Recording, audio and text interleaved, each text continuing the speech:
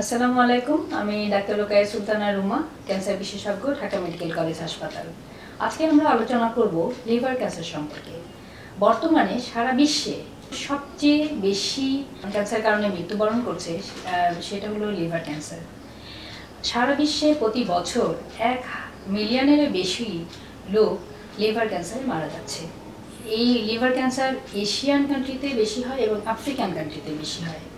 Liver cancer হয় সাধারণত যেসব কারণে এক্স্যাক্ট কোনো কারণ এখন পর্যন্ত আবিষ্কার হয়নি বা জানা যায়নি, কিন্তু কিছু কিছু বিষয়কে আমরা রিস্ক ফ্যাক্টর বলি, যেগুলো থাকলে মনে করা হয় এই রোগী পরবর্তীতে লিভার ক্যান্সার হওয়ার আশঙ্কা আছে। তার মধ্যে virus infection hepatitis virus infection hepatitis B এবং হেপাটাইটিস সি ভাইরাস যাদের থাকে, তাদের পরবর্তীতে দেখা যায় যে লিভার সিরোসিস ডেভেলপ করে এবং সেই রোগীদের লিভার ক্যান্সার হয় বা সিরোসিস কারও কারও না হলেও লিভার ক্যান্সার ডেভেলপ করে। এবং যাদের অ্যালকোহল ইনটেক যারা বেশি করে সিগারেট স্মোকিং যারা করে এবং কখনো কখনো যেসব মহিলারা ওরাল কন্ট্রাসেপটিভ পিল খায়, তাদেরও পরবর্তীতে দেখা যায় যে লিভার ক্যান্সারের ঝুঁকি অনেক বেশি থাকে। আমরা পরিসংখ্যানে দেখতে পাই যে সাধারণত যেটা দেখা গেছে সেটা মেয়ে, ছেলেদের লিভার ক্যান্সার বেশি হয়, মেয়েদের তুলনায়। এটা হতে পারে যে অ্যালকোহল ইনটেক বা এখন পর্যন্ত এপিডেমিওলজিক্যালি জানা গেছে যে ছেলেদেরই বেশি হয়। আগে থেকে মনে করা হতো যে সাধারণ মানুষের একটা ধারণা ছিল যার হয় ক্যান্সার তার নেই ক্যান্সার আসলে বিষয়টা তা নয়। শুরুতেই পড়লে ধরা ক্যান্সারও যায় সারা। লিভার ক্যান্সার হয়েছে কি না? কীভাবে আপনারা বুঝবেন? আসলে লিভার ক্যান্সারে হয়েছে এরকম একেবারেই সুনির্দিষ্ট করে কোনো ধরনের উপসর্গ আমরা বলতে পারি না। সাধারণত দেখা যায় যে এই উপসর্গগুলো থাকে ভেগ যেমন জ্বর আনএক্সপ্লেন ফিভার এই রোগীটার অনেক দীর্ঘদিন ধরে জ্বর, কিন্তু জ্বরের সুনির্দিষ্ট কারণ পাওয়া যাচ্ছে না।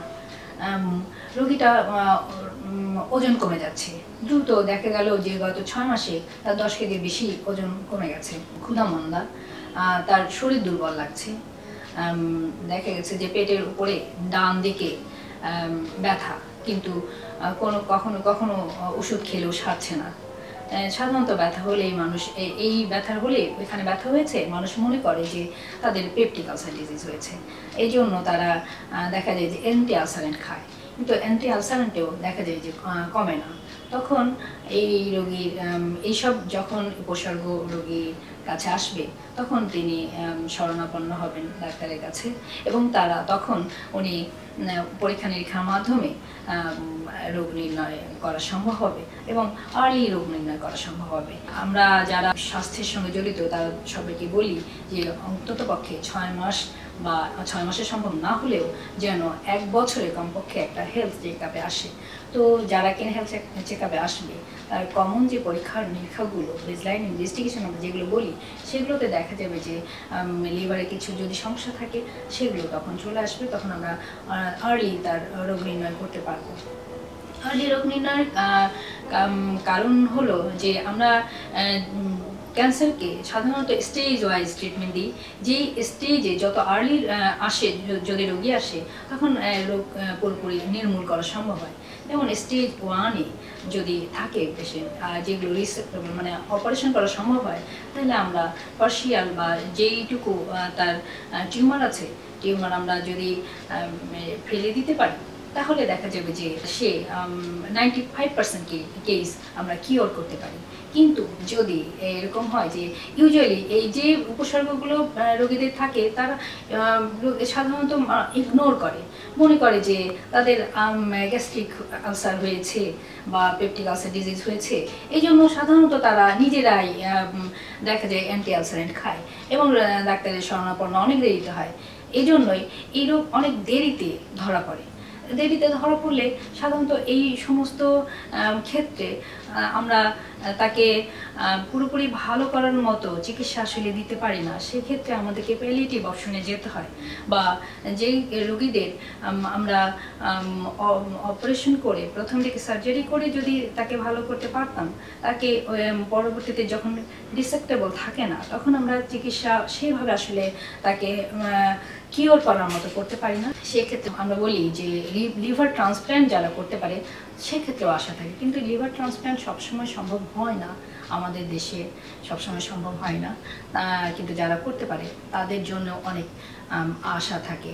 আর যাদের আমরা তখন করতে পারি না, তাদেরকে আমরা তখন প্যালিয়েটিভ ট্রিটমেন্ট দিতে চাই।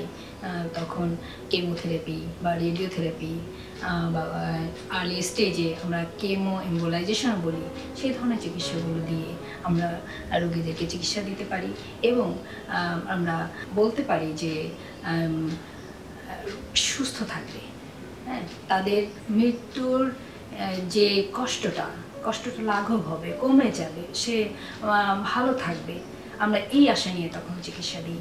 যারা কিনা লিভার ক্যান্সারের ঝুঁকি যাদের থাকে, যেমন যারা অ্যালকোহল ইনটেক বেশি করে, আর যাদের কিনা যারা বারবার রক্ত কারও কাছ থেকে নিয়েছে, সেক্ষেত্রে সেই স্ক্রিনিং রক্ত যার শরীরে দিল স্ক্রিনিং ঠিক মতো হয়েছে কি না হ্যাঁ সেই বিষয়গুলো আগে খেয়াল করতে হবে। কারণ হেপাটাইটিস বি ভাইরাস ইনফেকশন কীভাবে হয়, এই বিষয়গুলো যদি আমরা মানুষকে জানাতে পারি, সবাই লোকজন যদি জানে তাহলে পরবর্তীতে তার লাইফস্টাইল চেঞ্জ করে সে আসলে লিভার ক্যান্সারের ঝুঁকি থেকে মুক্ত থাকতে পারবে। ধন্যবাদ সবাইকে। আপনারা সবাই ভালো থাকুন। সুস্থ থাকুন। আপনাদের সুস্বাস্থ্য আশা করছি।